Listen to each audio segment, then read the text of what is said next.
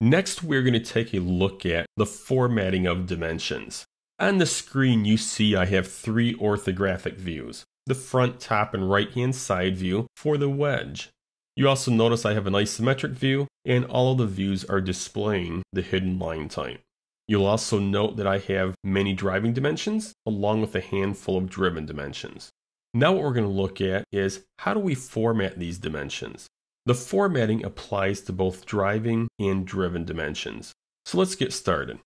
Let's zoom up on this 1.90 dimension and we'll select the dimension. The property manager opens for this dimension and notice, like we talked about before, we have the availability of a tolerance. So let's try this out. Instead of having none for tolerance, let's select bilateral. Bilateral is plus minus. I am going to enter a value of plus 5 thousandths minus 0. In order for this to display and not round off, I need to change the precision to three places. I'll go ahead and close out of the property manager and then move this dimension out a little bit so it displays correctly and it's not on top of the view.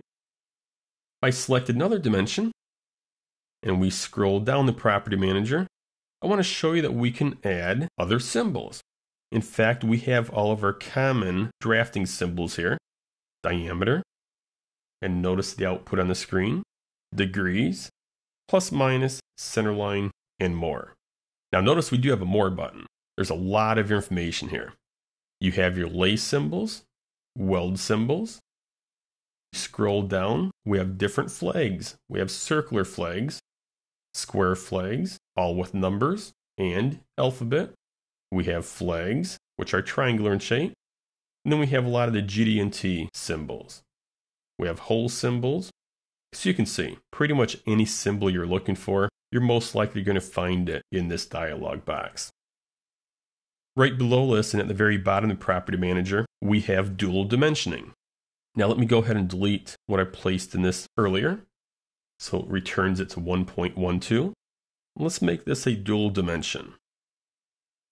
I am going to uncheck this and one last thing before we conclude this lesson, you may have noticed this little graphic pop up as we were moving dimensions in the earlier lessons, but if I select a dimension, notice we have this little graphic pop up here. This is for the dimension palette.